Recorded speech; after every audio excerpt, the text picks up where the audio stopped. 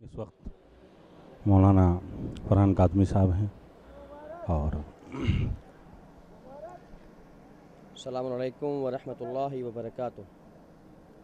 اس وقت پوری کائنات سے امام حسین السلام کے زوار کربلا کے سفر پر، سفر عشق حسینی پر رواں دواں ہیں۔ اور اس پورا زمانہ اس چیز کو دیکھ رہا ہے کہ وہ ایک شخص جو تنہا کھڑا تھا مقتل میں اب اس کے ساتھ زمانہ دکھائی دیتا ہے۔ اور بے پناہ مبارک یہ سفر کہ جس کے لیے چاہے ضعیف ہو، چاہے بچہ ہو، چاہے جوان ہو، وہ کربلا کی طرف رواں دواں ہے۔ اور امام جعفر صادق علیہ السلام اشاد فرماتے ہیں، من احب العمال اللہ تعالی زیارت و قبر الحسین علیہ السلام. اللہ کے نزدیک اگر کوئی عمل محبوب ترین ہے، تو وہ امام حسین علیہ السلام کی زیارت ہے۔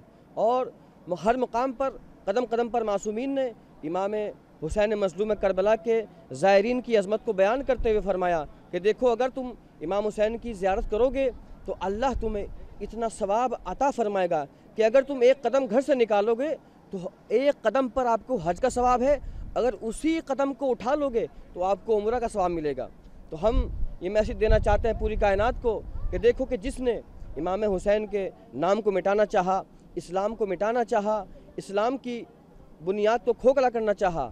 آج اس کا نام و نشان نہیں ہے، لیکن اللہ کا وعدہ ہے کہ حق مٹ گیا اور باطل، حق آ گیا اور باطل مٹ گیا۔ بے شک باطل کا کام ہی مٹ جانا ہے اور باطل مٹ کے رہا۔ یزید کا کوئی نام نشان لینے والا نہیں ہے اور امام حسین کے ازادار زوار، پوری کائنات میں، پوری دنیا سے جوک درجوک تشریف لا رہے ہیں۔ اور ہم یہ پیغام دینا چاہتے ہیں کہ دیکھیں، یہ حق کا پیغام ہے۔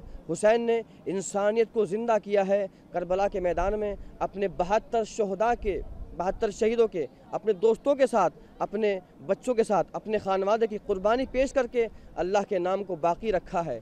جس نے اللہ کے نام کو مٹانا چاہا تھا، وہ خود مٹ گیا اور حسین کا نام آج بھی زندہ ہے۔ اور اسی لیے جوش نے کہا تھا کہ انسان کو بیدار تو ہو لینے دو۔ ہر قوم پکارے گی، ہمارے ہیں حسین۔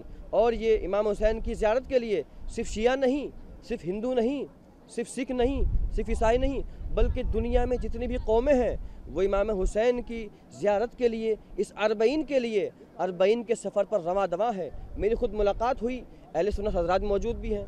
اہل سنت کے علاوہ ہندو بھائی بھی موجود ہیں جو کربلا کے سفر کے لیے عازم سفر ہیں۔ اور ان کی منزل کیا ہے؟